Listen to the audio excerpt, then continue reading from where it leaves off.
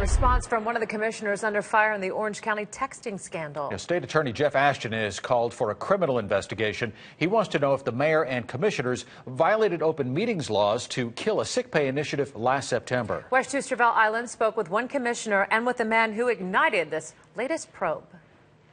Deleted text messages have Orange County commissioners under a microscope. State Attorney Jeff Ashton is calling for a criminal investigation into the texting scandal after Orange County resident Sean Ashby filed a formal complaint. There's been a lot of talks out there and a lot of questions that needed to be answered. Ashby wants to know if the mayor and commissioners violated open meetings laws and destroyed public records during a public hearing about a controversial sick time referendum.